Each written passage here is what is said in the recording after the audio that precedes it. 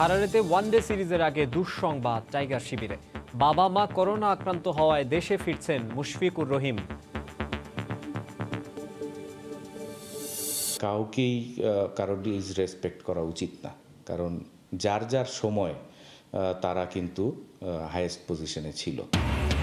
Cricketer ও বোর্ডের কর্তাদের মতের অমিল গণমাধ্যমে প্রকাশ করাটা দুঃখজনক। মন্তব্য বোর্ড পরিচালক দুর্জয়ের, ক্ষুণ্ণ হচ্ছে দেশের ক্রিকেটের ভাবমূর্তি।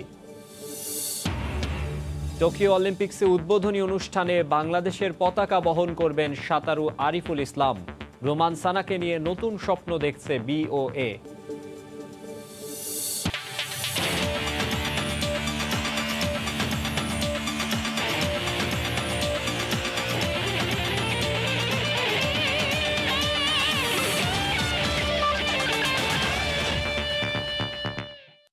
শুনছিলেন শিরোনাম, এবারে বিস্তারিত। শুরুতেই ক্রিকেট। ভিসা জটিলতা কেটে যাওয়ায় কাল ভোরে বাংলাদেশ দলের সঙ্গে যোগ দিতে জিম্বাবুয়ে যাচ্ছেন রুবেল ও শামীম পাটোয়ারি। একমাত্র টেস্টে জিম্বাবুয়েকে দুইশো বিশ রানে হারিয়ে উজ্জীবিত বাংলাদেশ দল। এবার সেই ধারাবাহিকতা ওয়ানডেতে ধরে রাখার লক্ষ্য। ষোলোই জুলাই থেকে শুরু হচ্ছে টাইগারদের ওয়ানডে মিশন। এরপর তেইশ জুলাই থেকে শুরু হবে তিন ম্যাচের টি টোয়েন্টি সিরিজ। ওয়ানডের আগে জিম্বাবুয়ের কন্ডিশনে প্রস্তুতির জন্য আগেই দেশ ছেড়েছেন নাইম শেখ। মোসাদ্দেক হোসেন সৈকত, মোহাম্মদ মিঠুন, আফিফ হোসেন, সাইফুদ্দিন, মোস্তাফিজ, শেখ মেহেদি হাসান ও আমিনুল ইসলাম বিপ্লব। কিন্তু যেতে পারেননি জিম্বাবুয়ে সফরের একমাত্র নতুন মুখ শামীম পাটোয়ারি। ভাগ্য ফেরেনি ওয়ানডে দলের পেসার রুবেল হোসেনেরও। ওয়ানডে ও টি টোয়েন্টি দলে দেশ থেকে যুক্ত দশ জনের মধ্যে কপাল পুড়েছিল এই দুজনেরই। অবশেষে কেটেছে অনিশ্চয়তা। ভিসা পেয়েছেন রুবেল ও নতুন মুখ শামীম। মুখিয়ে আছেন জাতীয় দলের জার্সিতে নিজেকে মেলে ধরার আশায়। নিজেদের সবশেষ ওয়ানডে সিরিজে ইতিহাস গড়ে শ্রীলঙ্কার বিপক্ষে সিরিজ জয় করেছে টাইগাররা। উল্টো চিত্র স্বাগতিক জিম্বাবুয়ে শিবিরে। দুই হাজার উনিশ সালে আরব আমিরাতের বিপক্ষে জয়ের পর নেদারল্যান্ডস, আয়ারল্যান্ড, বাংলাদেশ ও পাকিস্তানের বিপক্ষে খেলা চারটা সিরিজেই হেরেছে আফ্রিকানরা। তবে দুই হাজার তেরো সালে জিম্বাবুয়ের মাটিতে খেলা সবশেষ সিরিজে বাংলাদেশকে হারানোর স্মৃতি থেকে আত্মবিশ্বাস কুড়োতে পারে স্বাগতিকরা। শুক্রবার থেকে মাঠে গড়াবে বাংলাদেশ, জিম্বাবুয়ে তিন ম্যাচ ওয়ানডে সিরিজ। স্বাগতিকদের তুলনায় টাইগাররা সিরিজে এগিয়ে, তারপরও কঠিন চ্যালেঞ্জ থাকছে। অন্যদিকে, সম্প্রতি মাঠের বাইরে কথার লড়াই চলছে সাবেক ও বর্তমান ক্রিকেটার থেকে শুরু করে বোর্ড কর্তাদের মাঝে। এসবের বিস্তারিত আলোচনা করতে আমাদের সঙ্গে স্টুডিওতে আছেন সাবেক ক্রিকেটার তারেক আজিজ খান। তারেক ভাই আপনাকে স্বাগত আমাদের স্টুডিওতে। আমি শুরুতেই একটু বাংলাদেশের আজকে যে প্র্যাকটিস ম্যাচটা হয়েছে সেটা নিয়ে একটু কথা বলতে চাই। সেটা হচ্ছে প্র্যাকটিস ম্যাচে বাংলাদেশ আসলে দুশো ছিয়ানব্বই রান করেছে। রানের চেষ ছাপিয়ে সবাই আসলে চেষ্টা করছিল যে কীভাবে নিজেদেরকে ব্যাটে বলে ঝালিয়ে নেওয়া যায়। আপনার কি মনে হয় জিম্বাবুয়ের কন্ডিশনে আমাদের যে আগের পরিসংখ্যান বলেন বা বর্তমানে বাংলাদেশের যে অবস্থান সব মিলিয়ে জিম্বাবুয়ের বিপক্ষে এই সিরিজটা প্রস্তুতির দিক থেকে বাংলাদেশ কি অবস্থানে আছে? না আমার মনে হয় যে ওয়ানডে ক্রিকেটটাতে আমরা বেটার ক্রিকেট খেলি। টেস্ট ক্রিকেট আপনার একটা ছিল তারপরেও আমাদের এই জিম্বাবুয়েদের যেভাবে আমরা হারিয়েছি আমি বলব যে আমরা কিন্তু বেটার ক্রিকেট খেলেছি। But one day is different ball game আপনার সাদা বলের যে আর আমাদের এই সিরিজটাও কিন্তু আমাদের ওয়ার্ল্ড কাপের যে আমরা যে ওয়ার্ল্ড বাছাই পর্বের একটা অংশ হিসাবে সুপার লিগের সুপার লিগের তো সেই জায়গাটা আমার মনে হয় যে বাংলাদেশ টিম আপনি যদি দেখেন যে টিমটা আমাদের আছে ওডিআই টিমটা আমার কাছে মনে হয় যে ওয়েল ব্যালেন্স টিম এই মুহূর্তে আমরা মনে হয় যে জিম্বাবুয়েকে নিয়ে হয়তো অতটা ওরি নয় বাট যেহেতু জিম্বাবুয়ের কন্ডিশনে খেলা এবং প্রিভিয়াস রেকর্ডও আমাদের একটু ওই মাঠটাতে আমাদের আছে আর হারারেতে খেলা আই হোপ যে এভরিথিং গোয়িং ওয়েল জি যদি মুশফিক যেহেতু একটা স্যাড নিউজ বাংলাদেশের জন্য, মুশফিকের বাবা মা করোনা আক্রান্ত হয়, তিনি দেশে ফিরে আসছেন, যতদূর আমরা জানতে পেরেছি। তো তিনি যদি দলের সঙ্গে না থাকেন, তার অনুপস্থিতি, এটা কি দুইভাবে ব্যাখ্যা করা যায় কিনা? এক হচ্ছে দলের সিনিয়র একজন ক্রিকেটার ডিপেন্ডেবল বলা হয় তাকে, নির্ভরযোগ্য একজন ব্যাটসম্যানের না থাকা দলকে ভোগাতে পারে কিনা? একই সঙ্গে, তিনি যদি না থাকেন আজকে আমরা প্রস্তুতি ম্যাচে দেখেছি, লিটন, লিটনকে চার নম্বরে ব্যাট করানো হয়েছে টিম ম্যানেজমেন্ট করিয়েছেন। সেই ক্ষেত্রে লিটন বা অন্য অন্য কারোর জন্য আসলে নিজেকে প্রমাণের ওই জায়গাগুলোতে একটা সুযোগ তৈরি হচ্ছে কিনা? মুশফিক কিন্তু এমনি টি টোয়েন্টি থেকে আপনার আগে ছুটি নিতে চেয়েছিল। না পরে এবার সিদ্ধান্ত বদলও করেছে গতকাল। বলেছিল যে না পুরো সিরিজেই তিনি খেলবেন। হ্যাঁ কিন্তু আমার মনে হয় যে যেহেতু যদি আবার তিনি চলে আসেন এই ইসের কারণে তাহলে আমার মনে হয় যে তাহলে আমাদের হয়তো অস্ট্রেলিয়ার সাথে যে অস্ট্রেলিয়া কিছু শর্ত জুড়ে দিয়েছে যে দশ দিনের আপনার একটা বায়োবাবলের ভিতর থেকে থাকতে হবে ওই জায়গাটা হয়তো আমরা একটু প্রবলেমে পড়ব বাট মুশফিক আমাদের ওয়ান অফ দ্য বেস্ট আপনার ব্যাটসম্যান বাংলাদেশ ক্রিকেটে এখন পর্যন্ত আপনার যতগুলো ব্যাটি ব্যাটসম্যান ব্যাট করছে তার ভিতরে কমপ্লিট ব্যাটসম্যান এবং সেই জায়গাটা আমার মনে হয় যে না থাকাটা তো অবশ্যই এক্সপিরিয়েন্স তো আর একদিনে হয় না। এটার একটা দীর্ঘ প্রসেসের ভিতর দিয়ে আসতে হয় এবং আমার মনে হয় যে ব্যাটিংয়ে হয়তো ভোগাবে বাট আমার মনে হয় কিপার তো আপনি অলরেডি আমাদের কিন্তু টিমে অলমোস্ট কটা। অলরেডি মিথুনকে দিয়ে যদি ধরি একটা লিটন আছে। সোহান আমার মনে হয় সোহানকে ডাকা হয়েছে অনেকদিন পরে। আপনি যদি দেখেন যে রিসেন্ট যে পারফরমেন্সগুলো তারা আছে সেই জায়গাটাটা সোহান ওয়ান অফ দেন আপনিও ছিলেন দলের সঙ্গে। টিমে আমার আমরা ছিলাম একই সাথে আপনার শেখ জামালে। বাট আমার কাছে মনে হয় যে এটা একটা অপরচুনিটিও যারা সুযোগ পাবে তাদের জন্য এই সুযোগটা কাজে লাগানো। আপনি যদি দেখেন যে সোহান কিন্তু অনেক দিন আগে খেলেছে। প্রায় চার চার বছর ধরে আপনার টিমের বাইরে ছিল। খেলার সুযোগ ওইভাবে হয়নি। বাট আমার মনে হয় যে এই জিম্বাবুয়ে সিরিজের সাথে আই হোপ যে যদি সে তার সুযোগটা পায় তাহলে তার মেলে ধরার একটা যথেষ্ট সম্ভাবনা রয়েছে। টিম ম্যানেজমেন্ট কি ওই সাহসটা দেখাতে পারবে কিনা? সব সময় আমরা যেমন বলি পঞ্চ পাণ্ডব ছিল, সিনিয়র ক্রিকেটার ছিল সব সময় নির্ভরশীল দেখা গেছে। টিম ম্যানেজমেন্ট কি ওই সাহসটা দেখাতে পারবে কিনা যে একেবারে মানে বিকল্প ক্রিকেটারদের বা আমরা যাদেরকে বলছি ইয়াংস্টার তাদের উপরে একটা পুরো সিরিজের দায়িত্ব দিয়ে দেয়, বিশেষ করে যখন টি টোয়েন্টি ক্রিকেট জিম্বাবুয়ের মতো প্রতিপক্ষ সামনে। আমার মনে হয় সাহস তো দেখাতেই হবে। আর আমার মনে হয় যে এটাই উপযুক্ত টাইম যদি আপনার কাউকে রিপ্লেস করা বা কাউকে ই করেই করার। কারণ কিছু কিছু সিদ্ধান্ত তো আমরা দেখেছি যে আমাদের জন্য সবসময় কিন্তু ফরে আসেনি। বাট আমার মনে হয় যে জিম্বাবুয়ে একটা টিম যে গেনিস্টের আমাদের ধারাবাহিক পারফরমেন্স ভালো। এবং আপনি যদি দেখেন যে লিটনের ধারাবাহিক কিন্তু জিম্বাবুয়ের সাথে অসাধারণ ছিল। এবং কম বেশি যারা খেলেছে রিসেন্ট পারফরমেন্সে যদি আমরা দেখি, সেখানে জিম্বাবুয়েকে আসলে আমার কাছে মনে হয় না বাংলাদেশের জন্য অতটা হুমকি স্বরূপ। আর ওয়ান ডে ক্রিকেটে আমরা জানি এই ফর্মেটটা কীভাবে খেলতে হয়। সে- আপনি যেহেতু বলেছেন টি টোয়েন্টি খবর এখনই বলতে পারব না বাট ওয়ান ডে ক্রিকেটটা যেভাবে খেলতে হয়, এটা আমাদের ভালো জানা আছে। এবং আপনি যদি দেখেন যে পারফরমেন্স আমরা ওয়েস্ট ইন্ডিজকে হারিয়েছি ঘরের মাটিতে সো আই হোপ যে ভালো যে কন্টি ইটা আছে, সেটা আপনার এই ওয়ান ডে টিমটাতে আপনার ক্যারি করতে পারবে। ঢাকা প্রিমিয়ার লিগে তো আপনি যে দলের সঙ্গে, একটা দলের সঙ্গে ছিলেন, আপনার ইয়াংস্টারদের সঙ্গে নিশ্চয়ই কথা হয়েছে। বর্তমান প্রজন্মের বর্তমান বা আগামীর যে ক্রিকেটাররা আসছে তাদের সঙ্গে কথা বলে আপনার কি মনে হয়েছে যে আসলে কি অবস্থা কি পাইপলাইনের একটু? হ্যাঁ আমাদের সমস্যা হলো আপনার যে জায়গাটাতে আমরা সবচেয়ে বেশি সমস্যা ফিল করছি যারা আমরা মাঠে কাজ করছি সেই জায়গাটাতে আমার মনে হয় যে যে আমরা যে প্রক্রিয়াতে আপনার উঠে আসতেছি এই প্রক্রিয়াটা নিয়ে কিছুটা আমরা সন্দিহান। যে আসলে এই প্রক্রিয়াতে উঠে আসার ফলে আপনি সরাসরি ইন্টারন্যাশনাল লেভেলে কতটুকু সার্ভাইভ করতে পারবেন।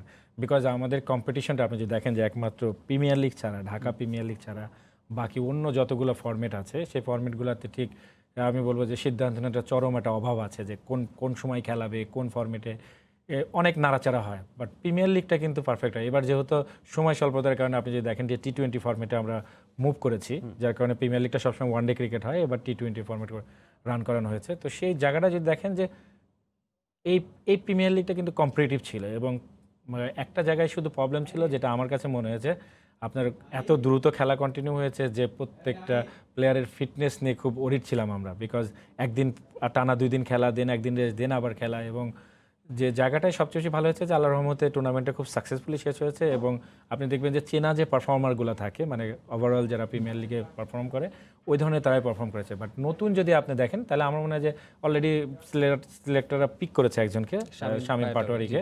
আমার মনে হয় যে যতগুলা দেখে মনে হয়েছে যে এই প্লেয়ারটা এই মুহূর্তে রেডি অবস্থায় আছে আচ্ছা।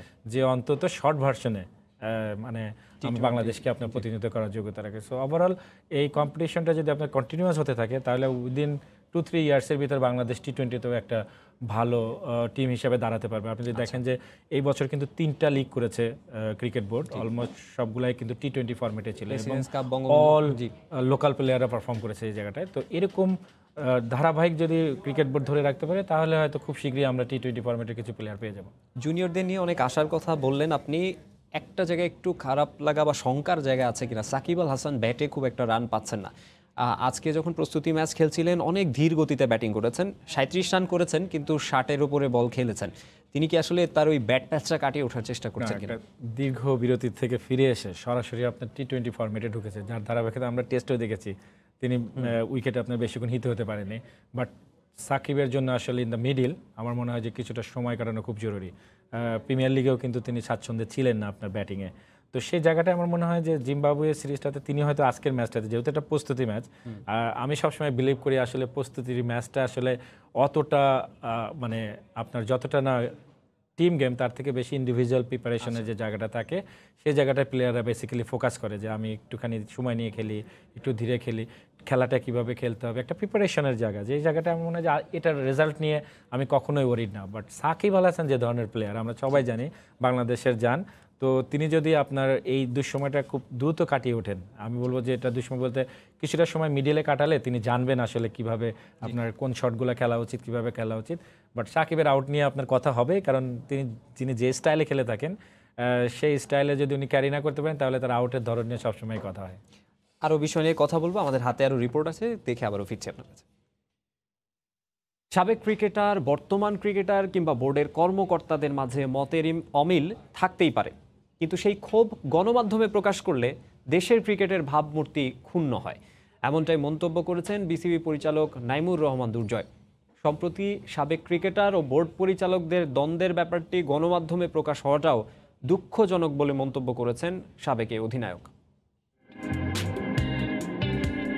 তুষার ইমরান। কদিন আগে প্রধান নির্বাচক মিনহাজুল আবেদিন নান্নুর কঠোর সমালোচনা করেছেন। ব্যাটসম্যান ও নির্বাচক নান্নুর দুটি যোগ্যতা নিয়ে সমালোচনা করেছেন সাবেক এই ক্রিকেটার। সাবেক অধিনায়ক নান্নুকে নিয়ে তুষার ইমরানের মন্তব্য ক্রিকেট অঙ্গনে নেতিবাচক প্রভাব ফেলেছে। এর কদিন আগেই বোর্ডের দুই প্রভাবশালী পরিচালকের মাঝে দ্বন্দ্ব ফুটে ওঠে স্পষ্ট। সাবেক অধিনায়ক খালিদ মাহমুদ সুজন গণমাধ্যমে একরকম নালিশ করেন সাতানব্বই এর আইসিসি ট্রফি জয়ী অধিনায়ক আকরাম খানের ক্রিকেট অপারেশনস পরিচালনা নিয়ে। ব্যাপারগুলো বেশ দৃষ্টিকটু। শুধু তাই না, ক্রিকেট বিশ্বে বাংলাদেশের ভাবমূর্তিও হচ্ছে ক্ষুণ্ণ, এমনটাই বলছেন স্বয়ং এই বোর্ড পরিচালক। আমার সাথে আপনার দ্বন্দ্ব থাকতে পারে, পছন্দ, অপছন্দ থাকতেই পারে, সেটা কিন্তু আমাদের ভিতরের ব্যাপার। সেটা নিয়ে আসলে গণমাধ্যমে বলে সারা দেশের মানুষকে জড়ানোর কোনো যৌক্তিকতা আমি দেখি না। এই জিনিসগুলি এখন আর দেশের ভিতরে থাকছে না এগুলি ইন্টারন্যাশনালি রিকগনাইজড হচ্ছে যার কারণে দেশের ভাবমূর্তি ক্ষুণ্ণ হচ্ছে। শুধুই কি সাবেক ক্রিকেটার সংগঠক কিংবা বোর্ড পরিচালকেরাই এমন কাদা ছোড়াছুড়িতে সীমাবদ্ধ নন? বাংলাদেশের ক্রিকেটের দুই আইকন মাশরাফি বিন মর্তুজা ও সাকিব আল হাসানও গণমাধ্যমে সাবেকদের নিয়ে মেতেছিলেন কঠোর সমালোচনায়। ক্ষোভ প্রকাশ করেছিলেন বোর্ডের কর্মকর্তাদের ওপর। কাউকেই কারোর ডিসরেসপেক্ট করা উচিত না কারণ যার যার সময় তারা কিন্তু হায়েস্ট পজিশনে ছিল। ক্রিকেট সংশ্লিষ্ট যারাই আছে, ভালো খারাপ যার যার পছন্দ, অপছন্দের ব্যাপার। কিন্তু যারা ক্রিকেট অর্গানাইজার ছিল, আছে, যারা ক্রিকেট প্লেয়ার ছিল, এখন আছেন, সবাই কিন্তু ক্রিকেটেরই লোক। কাজেই ক্রিকেটের প্রতি ক্রিকেটের লোকজনের শ্রদ্ধাবোধটা কমে যাচ্ছে, এটা সত্য, কিন্তু এটা দুঃখজনক। তবে এমন ঘটনা যেন আর না হয় তারই আহ্বান সাবেক এই অধিনায়কের। সবার মাথায় একটা জিনিস থাকা উচিত। হুমায়ুন কবির রোজ সময় সংবাদ ঢাকা। আমরা আবারও কথা বলব সাবেক ক্রিকেটার তারেক আজিজ খানের সঙ্গে। তারেক ভাই এত এত সমালোচনা। মাশরাফি বিন মোর্তজা কথা বলেছেন সাকিব আল হাসান কথা বলেছেন তুষার ইমরান কথা বলেছেন বা বিভিন্ন রকম কথা বিভিন্ন ধরনের সমালোচনা অনেক কিছু চলে আসছে। এই যে নাইমুর রহমান, দুর্জয় যেভাবে বললেন, আপনি তার সঙ্গে একমত কিনা? যে এই সমালোচনাগুলো আসলে কি গণমাধ্যমে এভাবে আসা উচিত, নাকি নিজেদের মধ্যে বসে কথা বলা উচিত? বা আপনার কি মনে হয় পুরো বিষয়টাকে? জিনিসটা হলো আপনার তুষার ইমরানের কথাটাই বলি, যে উনি- যেভাবে বলেছেন, আমার মনে হয় ও ওইভাবে বলতে চায়নি, যে এক সিজনে যা রান করেছে মানে রান্নু ভাই পুরো ক্যারিয়ারে যা করেছে, ও এক সিজনে করেছে।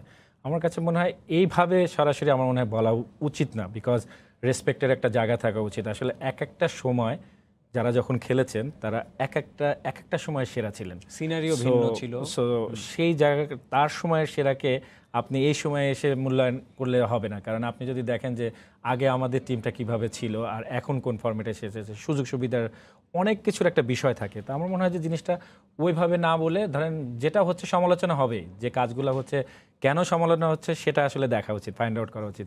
দুর্যোগ হয়তো বোর্ড পরিচালক আছেন উনি বলেছেন যে যে এইভাবে সরাসরি না আসা উচিত। কিন্তু দেখেন যে তাও তো একটা একটা মাত্র প্ল্যাটফর্মে আছে যেখানে আপনার হয়তো এই কথাগুলো হয়তো বলার একটি সুযোগ আছে। আদারওয়াইজ তো আপনার সুযোগগুলো তো একদমই নেই। আপনি কোনো জায়গাতেই আপনার কথা বলার সুযোগ নেই। তো সেই জায়গাটা যদি দেখেন, সব সমালোচনা আমি বলব যে একেবারে যে খারাপ তা কিন্তু না এবং কিছু কিছু সমালোচনা যেটা বলেছে দুর্জয় ভাই, আপনি যদি দেখেন যে বোর্ড পরিচালকদের যে বিষয়গুলো আপনি যদি দেখেন, যে তারা আসলে একটা বোর্ডের যারা দায়িত্বরত আছেন, তারা যদি নাই জানেন আসলে তাদের কাজটা কি, তো মানুষ বললে সেটা তো আপনি তাহলে তাকে থামাতে পারবেন না এবং এগুলো বলবেই এবং এগুলো চলবে। কিন্তু কাজের কাজটা যদি ঠিক মতো করা হয় তাহলে মনে হয় যে এ ধরনের কথাবার্তা কখনো উঠবে না। কিন্তু আপনি দেখেন তুষার বলার একটা কারণ আছে। কিছু কিছু প্লেয়ারের ক্ষেত্রে ধরেন আমরা হয়তো আপনাকে উদাহরণ দেওয়ার জন্য বলি, তুষার ইমরান যখন দুই হাজার সতেরো সাল থেকে আপনার খুব ভালো ফর্মে ছিল এবং দুইটা টেস্ট ক্রিকেটের জন্য তার জন্য একটা আইডিয়াল সিচুয়েশন ছিল অথচ তার জন্য কিন্তু সেই প্ল্যাটফর্মটা তৈরি হয়নি। অথচ আবার যখন মাহমুদুল্লাহকে আপনার যখন আঠারো মাস ষোলো মাস পরে আপনার যখন টেস্ট টিমে ডাকা হলো এই ষোলো মাসে সে কিন্তু লঙ্কার ভাষণে কোনো খেলাই খেলেনি। তো ও হয়তো ওর ক্ষোভের বহিঃপ্রকাশটা ওখানে ঘটিয়েছে এবং আমরা দেখেছি যে এই ধরনের সিলেকশনের ক্ষেত্রে আপনার যে জায়গাগুলোতে থাকে সিলেক্টররা ঠিকভাবে স্বচ্ছতার সাথে আপনার কাজ করেনি, যার কারণেই আসলে কথাগুলো উঠেছে। আমার কাছে মনে হয় Tushar one of very unlucky যে আপনার ডোমেস্টিকে হাজার হাজার রান করার পরেও আপনার ডোমেস্টিককে আমাদেরকে একদম অবজ্ঞার চোখে দেখা হয়েছে। অথচ সিলেকশন প্যানেলের ক্ষেত্রে, আবার কিছু প্লেয়ারের ক্ষেত্রে এমনভাবে আপনার সিলেকশন করা হচ্ছে যেখানে তারা কোন প্ল্যাটফর্মে রান করছেন বা কোন প্রতিপক্ষ কে ছিল, কাদের এগেনস্ট এবং কিছু প্লেয়ারকে আপনার খুব সহজে জিনিসগুলোকে সুযোগ দেওয়া হয়েছে। আমার মনে হয় যে হয়তো দুঃখের রাগে ক্ষোভের থেকে হয়তো কথাটা বেরিয়েছে বাট কথাটা সত্য বাট আমার মনে হয় যে সরাসরি আপনার এইভাবে গণমাধ্যমে মানে আমার মনে হয় যে প্রকাশের ভঙ্গিটা হয়তো কথাটা হয়তো ওইভাবে হয়নি। বাট আবার যদি আপনি সমালোচনা দেখেন সাকিব বলেন মাস্টার বলেন যা বলেছে এরা ক্রিকেট নিয়ে বলেছে ক্রিকেটের বাইরে আসলে কিছু নিয়ে বলেনি। এত এত ক্রিকেটার এভাবে যখন বলছে তখন নিশ্চয়ই ভেতরে কিছু থাকলেও থাকতে পারে সেটি নিয়ে কথা বলা যায়। ব্যাপারটা হচ্ছে সিলেক্টরদের নিয়ে কথা বলছিলেন যে অনেকের সিলেকশন হয়তো ঠিক মতো হয়নি। সিলেক্টররা কি, আপনার কি মনে হয়? আপনি এই বোর্ডে বিভিন্ন সময় যান, দলের বিভিন্ন দলের সঙ্গে, ঢাকা প্রিমিয়ার লিগের বিভিন্ন দলের সঙ্গে, ক্লাবগুলোর সঙ্গে কথা বলেন, আপনার কি মনে হয়? সিলেক্টররা কি একেবারে স্বাধীনভাবে তাদের এই নির্বাচনগুলো করতে পারেন? না, আপনি যদি দেখেন, সমালোচনা হবে। কাজ করলে সমালোচনা হবে। বাট দেখতে হবে কাজটা, আপনি যে, আমরা, আমাদের সমস্যা হলো কি, আমরা সকালে বলছি এক কথা বিকালে যে কিন্তু কাজের ক্ষেত্রে সেটা প্রমাণ থাকছে না। দ্যাটস ওয়াই কিন্তু কথাটা উঠছে। আপনি যদি দেখেন যে যে তারা ভবিষ্যৎকে নির্মাণ করার জন্য যে প্রক্রিয়া দিয়ে তারা হেঁটেছে, তারা সেই প্রক্রিয়াতে কিন্তু স্টিক থাকেনি। দ্যাটস ওয়াই আপনার এত কথা উঠেছে। এবং সিলেকশনের যে জায়গাটায় আমরা বারবার বলে আসছি যে যে জায়গাটা আসলে যাচাই বাছাইয়ের যে জায়গাটা আরও স্বচ্ছ হওয়া উচিত এবং যে কাজগুলোর ক্ষেত্রে আপনার আরও বেশি, তারা কোন ফরম্যাটের জন্য প্লেয়ার নির্বাচন করছেন, যেহেতু এটা ক্রিকেট নিয়েই, আমি শুধু ক্রিকেট নিয়ে বলছি যে যে যে প্লেয়ারটার জন্য তারা অপরচুনিটিটা তৈরি করছেন, তিনি কতটুকু দক্ষতার সাথে এসে আপনার কাজটা করছেন? যেহেতু আমি আপনাকে আগেই বলেছি যে দেশটা বাংলাদেশ এবং যখন এই তাদের সিলেকশনের কারণে যখন টিম দেড়টা হারছে হারছে কিন্তু বাংলাদেশ। এই যাদের ভিতরে আপনার এই কষ্টটা থাকবে, তারা কিন্তু কথা বলবেই। এবং যাদের ভিতরে মনে হবে যে আচ্ছা যা করার করতেছে, কোন না হলে কথা হবে না, তাহলে কথা হবে না। কিন্তু আমার মনে হয় যে, যদি সঠিক কাজটা তারা করেন, তাহলে আমার মনে হয় না যে, সমালোচনা করার খুব বেশি অপশন আছে। বাট যে কাজটা তারা করছেন, সেই কাজটা তারা সঠিকভাবে করতে পারছেন না, যার কারণে আপনার এই কথাবার্তাগুলো উঠছেন। এবং আপনি যদি দেখেন যে সিলেকশনের যে জায়গাগুলো, তারা যদি এই দীর্ঘ সময় তারা সিলেকশনে আছে, এবং তারা কিন্তু কোনো খুব বেশি আমি বলব যে একজন কি দুইজন ছাড়া খুব বেশি নতুন প্লেয়ার কিন্তু তারা জাতির সামনে উপহার দিতে পারেনি। ব্যাটসম্যান সিস্টেমের গলদা আর শুধু এককভাবে আপনি যদি সিলেক্টরকে আপনি দোষারোপ করেন, তাহলে আমার কাছে মনে হয় যে কিছুটা সময় তারাও কিছু জায়গায় যেমন কারণ লিগ না হলে তারা কোত্থেকে আপনার প্লেয়ারকে সিলেক্ট করবে? বা যে যে ফর্মেটে আমরা খেলছি, সেই ফর্মেটে ঠিক মানদণ্ডটা ঠিক সঠিকভাবে নেই। তো যার কারণে তারা ঘুরে ফিরে আপনার যে কাজটা করছে এবং আপনি যদি দেখেন যে মন্দের ভালোর মতো আপনার যখন সিলেকশনগুলো হচ্ছে তখন তখনই আসলে এই জিনিসগুলো নিয়ে খুব বেশি কথাবার্তা হচ্ছে। জি। জি সিলেক্টরদের প্রসঙ্গে আসছিল আসলে এখন যে পরিস্থিতিটা তৈরি হয়েছে আমরা জিম্বাবুয়েতে মাহমুদুল্লাহ রিয়াদের অবসর নিয়েও একটা ঘোলাটে পরিবেশ দেখলাম। বোর্ডের সাথে ক্রিকেটারদের এই দূরত্বের জায়গাটা কি ক্রমশই আসলে আরও বেশি স্পষ্ট হচ্ছে কিনা সব দিক থেকে? আপনার আসলে যদি কর্মকাণ্ডগুলো দেখেন, তাহলে কিছুটা ক্ষোভ তো অবশ্যই আছে। এবং সেই ক্ষোভের থেকেই হয়তো আপনি যদি দেখেন যে কেনই বা বাদ দেওয়া হলো, মাহমুদুল্লাহর ক্ষেত্রে কিন্তু আমরা দেখেছি। এখনও অবসর নাটক অলমোস্ট গোয়িং অন কিন্তু আপনি যদি দেখেন যে ও যে ডিসিশনটা নিয়েছে আমার কাছে মনে হয় সঠিকই নিয়েছে। ওকে যখন বাদ দেওয়ার যে প্রক্রিয়াটা শুরু হয়েছিল সেই প্রক্রিয়াটা আপনার সঠিক ছিল না। এবং আমরা কোনো সময় আসলে প্রক্রিয়াগতভাবে যে কাজগুলো করা উচিত সেটা না করে ধরেন একটা কোচ আসলো হুট করে বলল যে একে দিয়ে হবে না। হয়তো তার পরিকল্পনায় থাকতে পারে। আমরা কেন সিলেক্টরকে দোষারোপ করি? কারণ সিলেক্টর তো আমাদেরকে জানেন। একটা বাইরের লোকের সাথে তো কাগজপত্র, আপনার তারপরে স্ট্যাটিস দেখে থেকে আপনার হয়তো সে ঘেটে ঘেটে হয়তো বের করবে। কিন্তু ওনারা তো আমাদের ছোটোবেলা থেকে দেখছেন এবং যে লোকগুলার নিয়ে আপনার কথা হচ্ছে, এরা বাংলাদেশ ক্রিকেটে গত বিশ বছর ধরেই আছেন এবং তারা জানেন কাথায়, কোথায়, কীভাবে সে ছেলেটা বড় হয়েছে, সে কোন ফর্মেটে ভালো খেলে, কি খেলে। তখন না বলে তখন যখন আপনি এসে আপনার প্রক্রিয়ার অংশ হিসেবে যখন পাচ্ছেন না, দূরে সেরে দিচ্ছেন এবং এই সময় এই লোকগুলা আপনার স্ট্যান্ড নিয়ে দাঁড়াচ্ছে না যে হ্যাঁ আমরা জানি যে এই প্লেয়ারের ক্যালিবার কী এবং আমরা এই জন্যই তাকে সিলেক্ট করেছি। তাদের যে ভূমিকাটা রয়েছে সেই ভূমিকাটায় আপনার তারা স্বচ্ছ থাকতে পারছে না। যার কারণে কিন্তু দেখেন তারা বলছে এক মাঠে যায় হচ্ছে আর এক। এবং এখান থেকে যখন বলে পাঠালো বোর্ড প্রেসিডেন্ট নিজেও বলেছে আমি আমার সাথে তো কথা বলে গেছে সে খেলবে কিন্তু সে খেলেনি। অবশ্যই একটা দূরত্ব আছে। আমার মনে হয় যে খুব খুব দ্রুতই এই দূরত্বটা বোর্ডেরই উচিত। আমার মনে হয় যে এটা দূর করে ফেলা। সমাধান করা। জি দর্শকরাও বা সমর্থক যারা আছে তারাও নিশ্চয়ই চাইবে যে যত দ্রুত সম্ভব এই দূরত্বের জায়গা বা যে ঝামেলাগুলো আছে সেগুলো কেটে যাক। ধন্যবাদ আপনাকে আমাদের স্টুডিওতে এসে সময় দেওয়ার জন্য। দর্শক, বাংলাদেশ ক্রিকেট দলের বিভিন্ন দিক নিয়ে কথা বলতে আমাদের সঙ্গে স্টুডিওতে উপস্থিত ছিলেন সাবেক ক্রিকেটার তারেক আজিজ খান। বার্সেলোনাতেই থাকছেন লিওনেল মেসি। আবারও পাঁচ বছরের চুক্তি হতে যাচ্ছে দুপক্ষের মাঝে। তবে এজন্য মেসির বেতন কমে যাচ্ছে পঞ্চাশ শতাংশ। তারপরও প্রতি মৌসুমে কাতালুনিয়ার ক্লাব থেকে বিশ্বসেরা ফুটবলার পাবেন প্রায় চারশো কোটি টাকা। এর আগে মৌসুম প্রতি লিও নিতেন পঁচাত্তর মিলিয়ন ইউরো, আর নতুন চুক্তিতে অর্থের পরিমাণ হচ্ছে আটত্রিশ মিলিয়ন। কে জিতবেন এবারের ব্যালন্ডিয়র দীর্ঘ অপেক্ষার অবসান ঘটিয়ে আর্জেন্টিনাকে কোপা আমেরিকা জেতানোর নায়ক লিওনেল মেসি আছেন সবচেয়ে এগিয়ে। দৌড়ে আছেন ইতালির হয়ে ইউরো আর চেলসির হয়ে চ্যাম্পিয়ন্স লিগ জয়ী মিডফিল্ডার জর্জিন জর্জিনহো ব্যালন্ডিয়রের সম্ভাব্য প্রার্থীদের নিয়ে থাকছে এবারের প্রতিবেদন। প্রথমবারের মতো অলিম্পিকে সুযোগ পাওয়া রোমান সানাকে নিয়ে নতুন স্বপ্ন দেখছে বাংলাদেশ অলিম্পিক অ্যাসোসিয়েশন। সেই সঙ্গে আরিফুল আবদুল্লাহ হেল বাকি ও জহির রায়হানরা নিজেদের সেরাটা দিয়ে দেশের জন্য ইতিবাচক ফল বয়ে আনবে এমনটাই বিশ্বাস বিওএ কর্তাদের। এদিকে অলিম্পিকের উদ্বোধনী অনুষ্ঠানে দেশের পতাকা বহন করবেন সাঁতারু আরিফুল ইসলাম। এবারে দেশের ফুটবলের খবর। বাংলাদেশ প্রিমিয়ার লিগ প্রসঙ্গ, কঠোর বিধিনিষেধ, উঠে যাবার শেষ দিনে আবারও মাঠে গড়ালো বিপিএল ফুটবল। তবে পয়েন্ট টেবিলে এগিয়ে যাবার লড়াইয়ে শেখ রাসেল ও মুক্তিযোদ্ধার মধ্যকার ম্যাচে জেতেনি কেউই।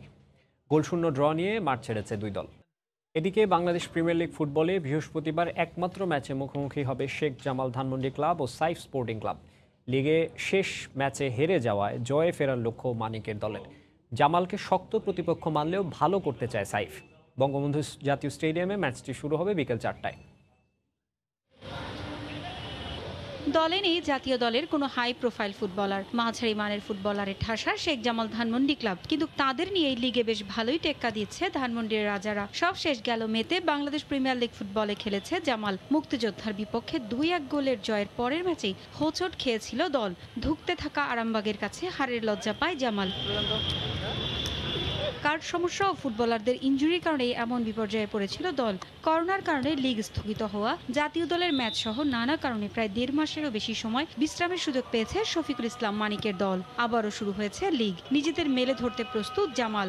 পনেরো ম্যাচে বত্রিশ পয়েন্ট নিয়ে তৃতীয় স্থানে আছে মানিকের শিষ্যরা তেরো গোল করে দলের সেরা তারকা গাম্বিয়ান জাতীয় দলের ফুটবলার ওমর জোবে সাত গোল নিয়ে তার পরেই আছেন সলমন কিং। জোবের সঙ্গে আরেক গাম্বিয়ান সলমন সিল্লার জাদুতেই লিগে ভালো ফল পাচ্ছে জামাল। এ ম্যাচকে সাইফকে হারিয়ে জয় ফেরার লক্ষ্য দলের সম্ভাব্য চার তিন তিন ফরমেশনে দলকে খেলানোর পরিকল্পনা মানিকের। ইঞ্জুরিতে আছেন লেফট ব্যাক শাকিল, তার পরিবর্তে খেলবেন শ্যামল। প্রতিপক্ষ সাইফ স্পোর্টিং ক্লাবকে কোচ নিয়ে কম ধকল পোহাতে হয়নি এ মৌসুমে। গেল মার্চে দায়িত্ব নিয়েছেন স্টুয়ার্ট হল। এখন দলকে টেনে নিচ্ছেন তিনি। শেষ ম্যাচে মুক্তিযোদ্ধাকে চার এক গোলে হারিয়েছিল সাইফ। ষোলো ম্যাচে ২৬ পয়েন্ট নিয়ে ষষ্ঠ স্থানে আছে তারা। আসরে সাইফের হয়ে দারুণ খেলছেন জন ও কোলি লিগে তার গোল এখন পর্যন্ত তেরোটি। জামালকে সমীহ করলেও জয়ের ছক কষছেন সাইফ কোচ স্টুয়ার্ট হলও। পারভিন আক্তার সময় সংবাদ। এ পর্যায়ে খেলার সময় শীর্ষ সংবাদ জানিয়ে দিচ্ছে আরেকবার। কাউকেই কারোর কারোর ডিসরেসপেক্ট করা উচিত না।